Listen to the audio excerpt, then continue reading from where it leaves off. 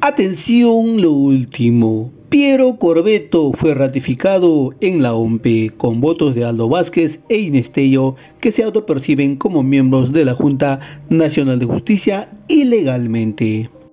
Ahora los zurdos caviares volverán a hacer otro fraude electoral y para esto ya tienen controlado a los órganos electorales como la OMPE, el Jurado Nacional de Elecciones y la RENIEC, pues son ellos los que cuentan los votos.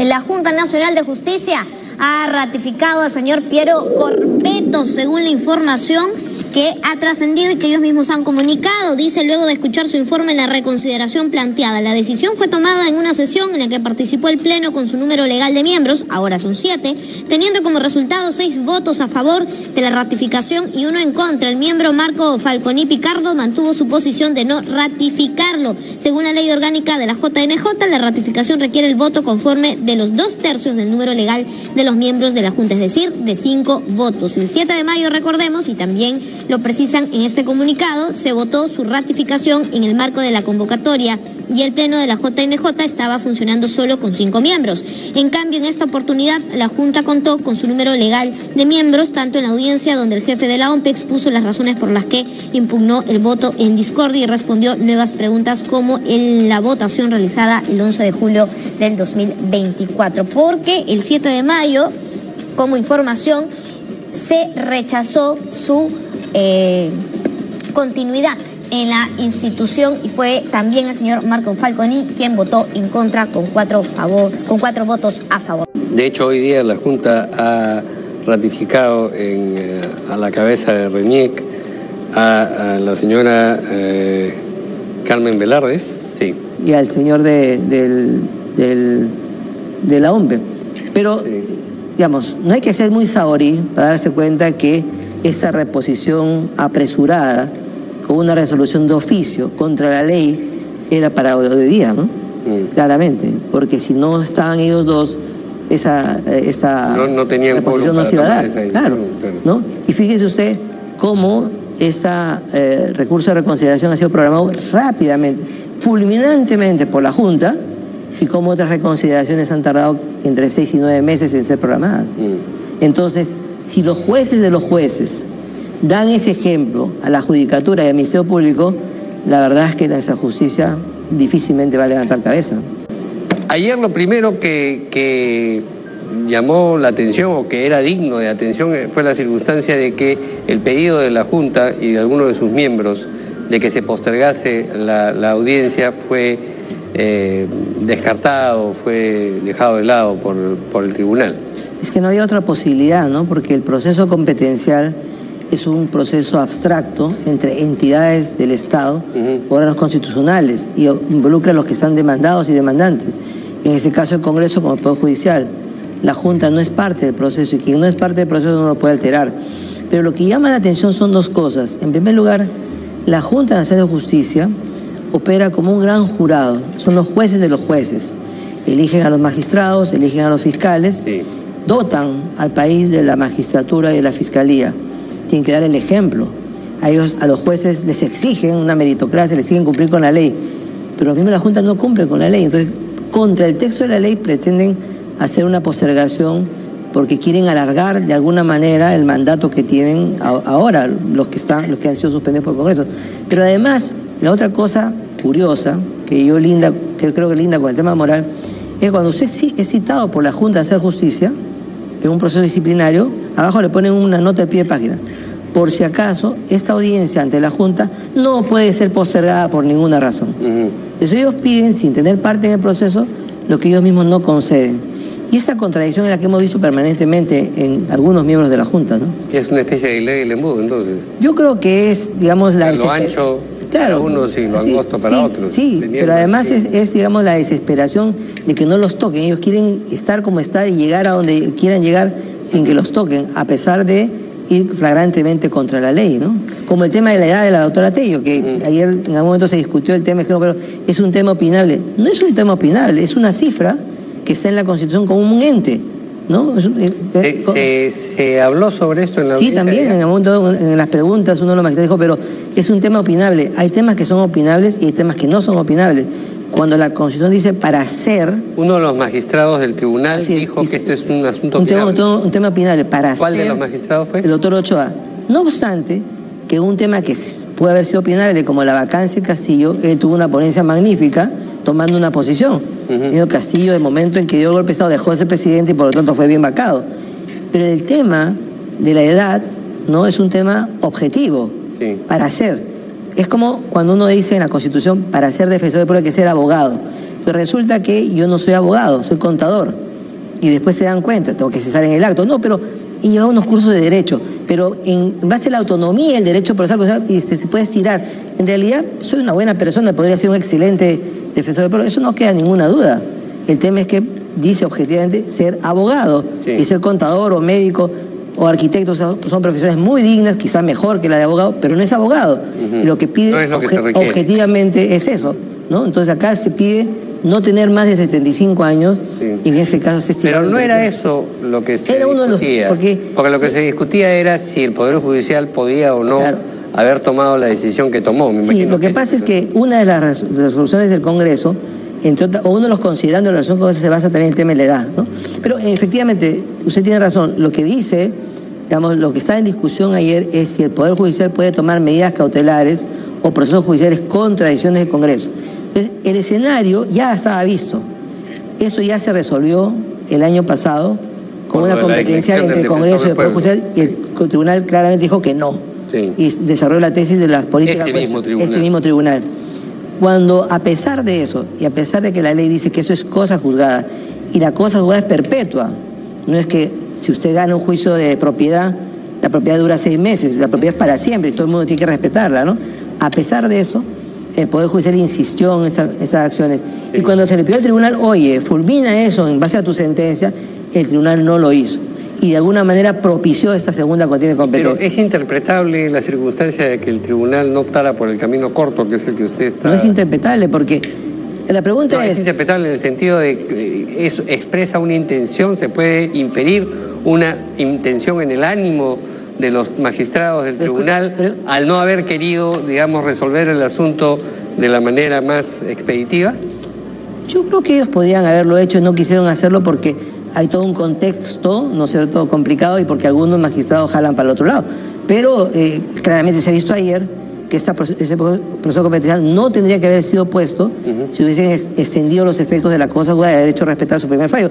Porque lo que va a pasar es que en este nuevo fallo van a repetir lo mismo, no se puede contradecir. ¿no? Entonces va a ser más de lo mismo. Como, Porque si dijeran algo distinto sería el TC contra el TC. Así es, sería una cosa contradictoria, Vidaurre contra Vidaurre. Vidaurre contra Vidaurre. Eh, ¿Cómo fue la votación en el caso anterior? Fue 6 a 1. 6 a 1. Y se necesita 5 votos. 5 votos cuando menos. De manera que, digamos, si son los mismos eh, miembros del Tribunal Constitucional, si el asunto en el fondo versa sobre la misma materia, es lo mismo. uno pensaría que se puede repetir la votación, pero claro, eso solamente en el peor de los casos 5 a 2, teniendo en cuenta que esa fue la votación para la medida cautelar en este proceso. O sea, la medida cautelar que suspendió la suspensión, ¿no es cierto?, este, del Poder Judicial, eh, fue adoptada por 5 a 2. Entonces yo creería que, digamos, si ha habido una especie de opinión respecto a la verosimilitud de la demanda del Congreso, pues tendría que ratificarse en el fondo del asunto, ¿no? Esos dos votos fueron, el primero, el 6 a 1 tuvo eh, eh, como voto, digamos, eh, independiente, discordante. discordante el del doctor Monteagudo. El doctor Monteagudo. En este caso, en el de la... Helder Domínguez y Monteagudo. Monteagudo también. Sí. Mm. Y a partir de las preguntas que hacían ayer los, miembros del tribunal a, las partes, al procurador del, del, Poder Judicial y a usted, eh, ¿piensa usted que se podía más o menos, nuevamente estamos en el terreno interpretativo, eh,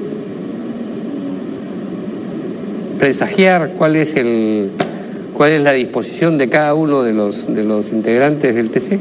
Yo creo que sería una cosa atrevida hacer una inferencia de ese tipo. ¿no? Lo que yo podría decir en términos generales en primer lugar, que la posición del Congreso ha sido muy bien recibida por el Pleno del Tribunal en general. Se nos ha tratado con mucho respeto, con mucha conciencia, con mucha profundidad.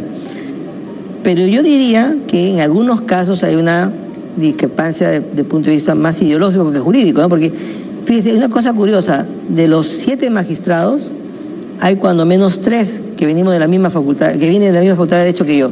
Conmigo somos cuatro. Hemos recibido la misma educación, los mismos profesores, el mismo método de enseñanza, la misma calidad jurídica, ¿no? ¿Qué nos podría diferenciar en la aproximación de este caso? El punto de vista ideológico, ¿no? Que algunos creen que el Congreso puede y otros creen que el Congreso no puede. Pero digamos, no es una discusión jurídica, lo jurídico quedó absolutamente claro, ¿no? El tribunal ya dijo su palabra, el tribunal es tribunal de cierre, dos magistrados de la Corte Superior no son más que el Tribunal Constitucional, dos magistrados de la Corte Superior no hacen sentencia, no hacen sentencia, no sentencia, ¿no? Clarísimamente, la modificación de la ley orgánica del Poder Judicial por una ley ordinaria es irregular y no toca el Código Procesal, que es una ley orgánica. Es un tema interesante, Mario, porque los jueces y mucha gente no percibe que el Código Procesal es una ley orgánica prevista en la Constitución, artículo 200, parte final, y por lo tanto requiere una modificación como ley orgánica expresa. Entonces, de relancina al modificar o supuestamente modificar la ley orgánica del Poder Judicial, se meten con el proceso constitucional cuando hay un principio de especificidad. La ley general deja su espacio a la ley específica. No, en las redes sociales se ha dicho, bueno, Quiroga es un ignorante porque está citando una norma que ha sido derogada. No ha sido derogada, porque la ley orgánica del proceso constitucional no ha sido tocada. Y nunca en la historia del Poder Judicial, y solo puede verificar, una sentencia de la Corte Superior ha sido, ha sido dada con dos votos. Los autos sí, las sentencias no. Esa es la primera vez que ocurre esto. Y lo segundo, hay una cosa que se llama ejecución anticipada de fallo estimatorio, el REACE, artículo 26. Eso lo han hecho los magistrados de oficio, cuando la ley dice que es a petición de parte. Y cuando ayer el, los mismos tribunales le preguntan al procurador, lea usted el artículo, lee la primera parte. No, lea la segunda parte, lee la primera parte. Lea usted la segunda parte. La solicitud será hecha a petición de parte. Pero la sala de a dos la ha hecho de oficio, sin mandato. Eso, ¿qué, ¿qué, magistrado se lo hizo leer al...? Yo creo que fue el doctor Gutiérrez Tix, hasta donde recuerdo, ¿no? Estaba también de acuerdo el doctor Hernández. Pero claro, hoy día se ha concedido la apelación del Congreso contra esa sentencia de a dos, pero la sala se cuida de decir si es con efectos suspensivos y efectos suspensivos. Eso que es un poco técnico y puede ser un arcano para la gente es muy simple. por favor. Si es con efectos suspensivos es que la sentencia no tiene efecto hasta que la Corte Suprema se, se pronuncie. Y si es sin efectos suspensivos significa que se, se ejecutiva de inmediato. Sí. No han dicho de qué cosa es, pero la, la apelación de una sentencia siempre es con efecto suspensivo. No tiene vigencia hasta que la Corte se pronuncie, salvo en el caso del habeas corpus. Pero acá, de oficio, sin petición de parte, con dos magistrados contra una sentencia del Tribunal Constitucional, han dispuesto su ejecución y la Junta, por supuesto, diligentemente la ha ejecutado. Y el otro tema es el siguiente. Esa sentencia judicial, que en materia de la competencial, hace todo un desarrollo político, ¿no? Discute las competencias del tribunal, el tribunal no se puede meter, nosotros somos autónomas pero no tiene la cortesía de citar la sentencia del año 23, del año pasado. No es un problema de cortesía, es un problema de consistencia. Es un problema jurídico, es un problema de falsa y errónea motivación. Porque además, el Código Procesal que ya cité, que es una ley orgánica, dice textualmente, los jueces del Poder Judicial están obligados a interpretar los reglamentos y las leyes conforme a las sentencias del Tribunal Constitucional. Era su obligación citarla, aún para contradecirla no existe. Entonces, para esa Corte Superior, superior de a dos, no existe el Tribunal. Y eso es algo que ayer lo, hemos hecho Usted, notar. Eh, digamos, yo lo dije aquí en el programa, parecía que les estuviera guapeando a los, a los miembros del Tribunal Constitucional, porque como diciéndoles, ustedes han establecido algo y en un nivel que está por debajo de ustedes y de manera eh, regular se ha tomado una decisión que los que los este, dije, dije tres cosas. en primer lugar, en un informe oral hay cierto nivel de vehemencia y cierto nivel de, digamos, de, motivación cuando uno defiende una causa que considera justa, ¿no? Pero dije tres cosas. Primero, ¿no? Estamos en esa competición por responsabilidad del tribunal, por no haber hecho valer su sentencia. Los primeros que tenían que hecho valer su sentencia son los miembros del tribunal, los que tenían que hacer valer su cosa juzgada. Segundo, una corte superior de a dos no puede estar por encima del tribunal. Y tercero, no puede ser posible que una sentencia judicial que se prece de ser sentencia justa no cite un precedente del Tribunal Constitucional, cuando la ley lo obliga a hacerlo, la ley orgánica. Entonces viene lo que decía al principio, la Junta Nacional de Justicia, el Poder Judicial dice, actuamos conforme a la Constitución, actuamos conforme a la ley. Eso es un cliché, pero no lo hacen. Y claramente Pero eso, digamos, los miembros del Tribunal Constitucional tienen que saberlo, si es así de mediano. Los miembros del Tribunal lo, lo, saben y a partir de ahora me imagino que darán los correctivos del caso, inclusive imponiendo las sanciones que correspondan, porque... ¿Puede poner sanciones el Tribunal? Puede el tribunal ordenar o disponer que el, órgano nacional de control haga, haga las investigaciones del caso, porque claramente se está yendo contra la ley. Pero además hay un tema adicional. Aparte que hoy día la sala superior de A2 no ha tenido la bondad de saber, de decir con qué efecto está concediendo la apelación, eh, aparte de eso, uno de los magistrados está en proceso de ratificación. Eh, Entonces, si se discute en el Congreso que dan leyes para favorecer a sí mismo, acá es lo mismo, es un tema ético y moral, porque ellos cuando hablan dicen, acá hay una línea, ¿no? Acá estamos los que somos morales y acá están los que no somos morales. ¿Y qué pasa cuando un magistrado es sujeto a ratificación por la Junta y luego da una resolución a favor de la Junta? Me pregunto, digamos en lenguaje sencillo y castellano, ¿no es un conflicto de interés? ¿No está favoreciendo a quien luego lo tiene que evaluar? ¿No está favoreciendo a su evaluador? Pregunto, ¿no? O no está en una posición de temor frente a su evaluador. Claro. Entonces, eh, esos son temas que el tribunal va a tener que abordar de todas maneras. Mm. Eh, ahora, lo que se discute, entiendo yo también en esencia, es qué tipo de decisiones del Congreso puede o no eh, objetar el Poder Judicial. Hay algunas decisiones que son no judiciables, me parece, la, la, y que tienen que ver con decisiones políticas como la censura de un ministro, como la decisión de vacar a un presidente y eh, lo que, eh, digamos, sostienen ustedes o el Congreso es que esta, la de eh, remover a dos integrantes de la Junta, es una decisión que pertenece a ese orden de cosas. Claro, porque lo que dice la Constitución, artículo 99, es que hay determinada gente, funcionarios, altos funcionarios públicos que están sujetos al antejuicio político y al juicio político. Como bien dijo una de las magistradas, cuando uno adquiere un cargo público, adquiere también la responsabilidad que tiene ese cargo público. Si yo soy ministro y la presidenta me cesa mañana, sin expresión de causa, yo no puedo pretender un amparo, si está no me he hecho fundamental el trabajo, me está, además es inmotivada la resolución se sabe que un ministro es nombrado por el presidente y es desnombrado por el presidente y no tiene derecho a reclamar mm. estabilidad en el cargo. Lo mismo pasa con la inhabilitación con el juicio político, ¿no? Se podrá discutir si es correcta o no es correcta, pero no se puede invocar la violación de un derecho fundamental, a menos que haya comprometido un derecho fundamental. Por ejemplo, pusimos el ejemplo ayer de si una persona es inhabilitada por un tema religioso, o por un tema de género, o por un tema de raza, ¿no? Esas cosas sí tocan fibras fundamentales que no pueden ser admisibles, ¿no? Claro, pero entiendo que cuando, por ejemplo, se vaca un presidente, se censura un ministro, no hay exposición de motivos. No. De manera que el asunto este... La motivación la, religión o la raza se inferiría, pero no se puede demostrar, no se puede decir, usted no puede censurar a este ministro porque yo creo que lo que ha pesado en su decisión es una cuestión religiosa. Digamos que hay decisiones políticas más cerradas y otras un poco más abiertas, ¿no? Más cerradas sería la vacancia, la renuncia, la censura, ¿no es cierto?, la no confianza. Y más, Esta de acá es más abierta. El juicio político sí tiene ciertas reglas de, estándar del debido proceso, mm. pero hay límites para eso. O sea, no se puede decir que el Congreso no puede tomar una decisión política respecto a un funcionario político que está cumpliendo una función constitucional, ¿no? Mm. Entonces ahí el procurador del Poder Judicial le dijo, pero por si acaso tengan cuidado porque ustedes también van a ser acusados de juicio político, ¿no? Y la ley dice que no puede ser así. La propia Constitución dice que los congresistas de la República y los magistrados del, del Tribunal Constitucional no responden por sus votos, no son judiciales por sus votos. Por ejemplo, no se puede procesar a un magistrado por su voto. Así diga que el MISTI, ¿no es cierto?, es un hueco invertido con conexión con el Polo Sur. No se puede, porque hay claramente una inmunidad en la Constitución. Hay tres autoridades que tienen inmunidad. El presidente de la República en el 117, los magistrados del Tribunal Constitucional y los congresistas de la República por disposición constitucional. Entonces, claramente hay una diferencia en el trato entre lo que puede ser una fundamentación de un magistrado del tribunal y una fundamentación de un magistrado de la Corte Suprema.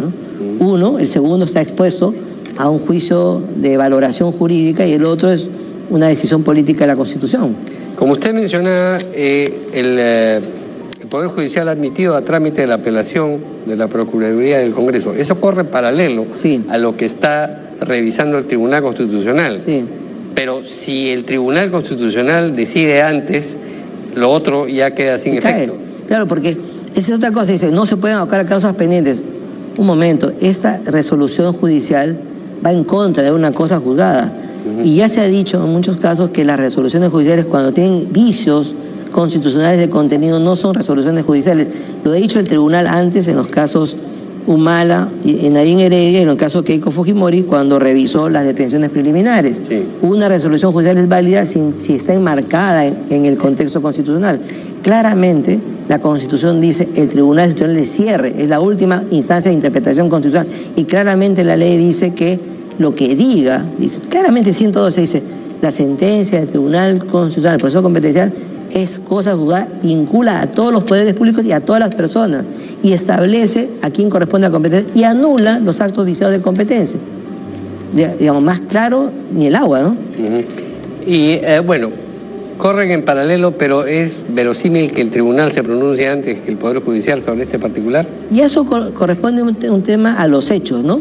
Eh, el tribunal se ha sorprendido con la violencia con la que ha violencia y rapidez, el Poder Judicial y la Junta inmediatamente ha cumplido contra la ley dando una resolución de oficio. Yo imagino que sensible a eso el tribunal también va a tener que dar una respuesta rápida, porque de alguna manera está viendo lo que discutimos ya que se llama una situación de feta cumplir. O sea, la Junta quiere establecer una, situación de hechos consumados.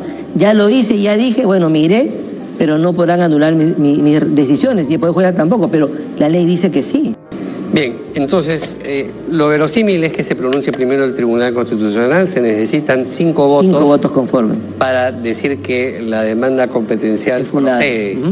¿Qué pasa en un escenario y en el otro? Si no se consiguen los cinco votos que Bueno, la demanda competencial es estimada, como ha pasado en otros casos, y ¿no? queda la Junta tal como está. Y, habrá que aplaudir lo que ha hecho el Poder Judicial y el Tribunal se tendrá que cruzar de manos y verá cómo, digamos, utilizar una, una figura retórica nada más que retórico, con todo respeto, el gato verá cómo los ratones se pasean por la despensa, ¿no?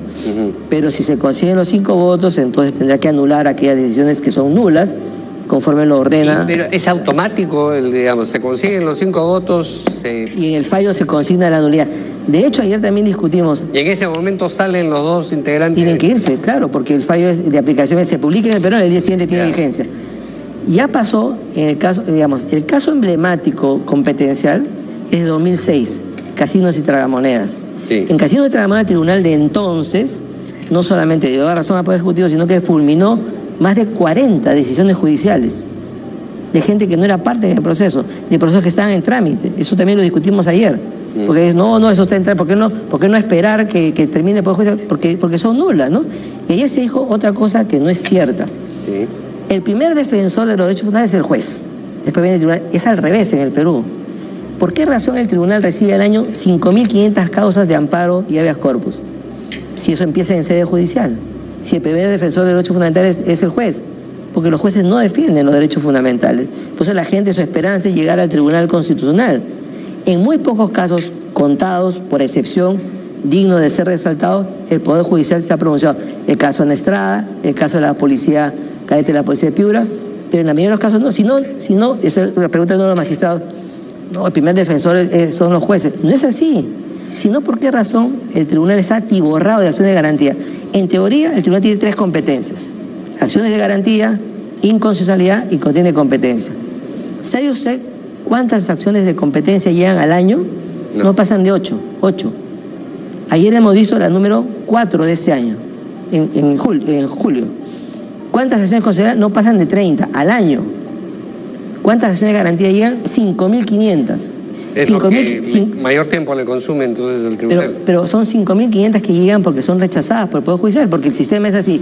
Si el Poder Judicial concede el amparo, no va al tribunal. Mm. Si el Poder Judicial rechaza el amparo del corpus, va al tribunal. Entonces son 5.500 causas rechazadas por el Poder Judicial. Se puede decir con estadística y con certeza que el primer defensor de derechos fundamentales en el Perú son los jueces del Poder Judicial. Mm. Bien, Pongamos en el escenario de que le dan la razón al Congreso. Eso no es garantía de que no se vuelva a producir un escenario como el que, el que ha conducido a esta demanda competencial, porque... Va a depender cuánta fortaleza tenga la sentencia. Se puede cauterizar en una sentencia. cuántos dientes tenga la sentencia mm. y cuán fuerte se ponga el gato frente a los ratones. Eso.